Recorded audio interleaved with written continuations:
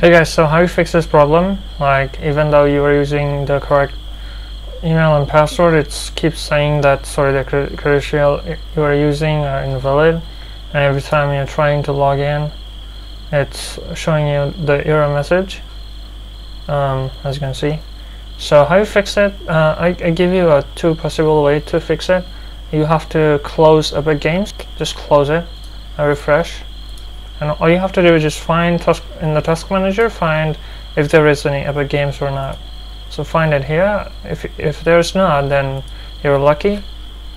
Uh, all, all, you have to do is just right click on Ep epic games launcher alright? And then run as administrator press yes and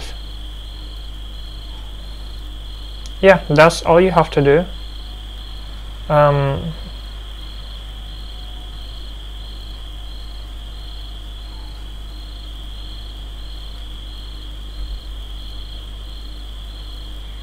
and as you can see it's working.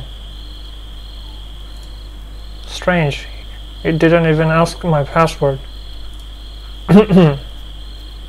Alright so like if you're taking like how to say if you're putting correct password and everything but you cannot log in that means you don't have to change password. You just have to keep restarting Epic Games and that's all you have to do. And that will work.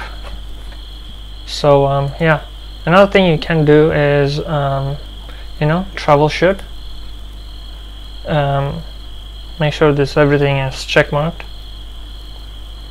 and yeah